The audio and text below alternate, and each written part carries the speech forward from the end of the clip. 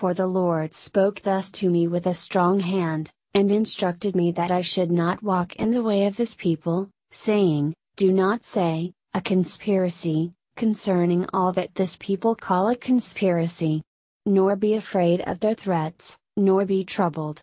The Lord of hosts, him you shall hallow, let him be your fear, and let him be your dread.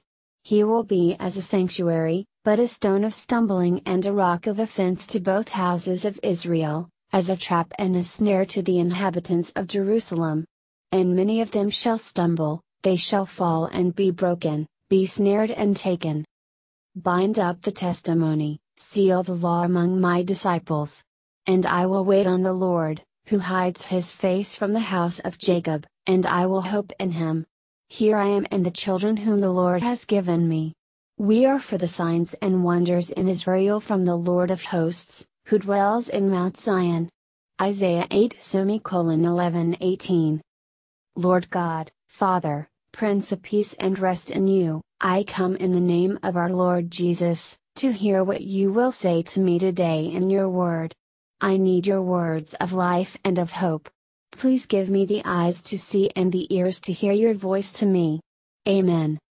My Lord, in these first verses it makes me think of today and in our government. There is conspiracies going on for sure and much evil being profited from by people in high places. The morals of our nation have declined so much in this generation. I have seen so much change and not towards good but towards sin and depravity. It hurts me but I also know you must be so broken hearted to see the ones you love so and gave so much to, return evil for good done them. But as it was the nation of Israel when they went away from you, as this prophecy says, recompense for their sins came upon them and it will for all today too. The evil ones will be snared and stumble no matter what they think or how sure and safe they have hidden their sin. Praise you for your justice, your power and full ability to correct and overcome evil.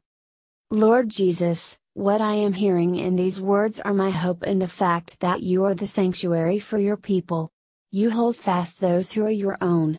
Yes, I am to hallow you, honor you, praise you, give you glory for your goodness and mercy. If I fear anything, I should fear what can happen to me if I follow after those who walk in darkness and live a life of me, me, me. Lord, I do fear ever falling away from you again. I have tasted the lost and hollow empty life. I know the despair and hopelessness. That is my greatest fear. The fear of getting what one deserves for our waywardness and rebellion against a good God. Yes, that is my fear. But my Lord, it does not overwhelm me when I hold fast to your words of life and place my trust in you and what you have done for me. I simply rest in your love and live as best I can for you and others good every day. That is where I strive to live. And when I am tempted to be selfish, or disobey your words of life, your spirit cautions me, you speak to my heart and I am constrained in following the ways of this world and my flesh. You alone deserve all my praise for you have given me the gift of salvation by your own life for mine, this holy book of instruction, and your Holy Spirit, and this great blessing to be able to talk to you personally anytime, all day. I have all I need in you to walk this life as I should. I have no good excuse not to. Lord, I want to close my prayer this morning with a plea that you mold and make me into a sign and wonder today in my world. That you use my life more than I have so far. I know that I am the only reason that you have not used me more.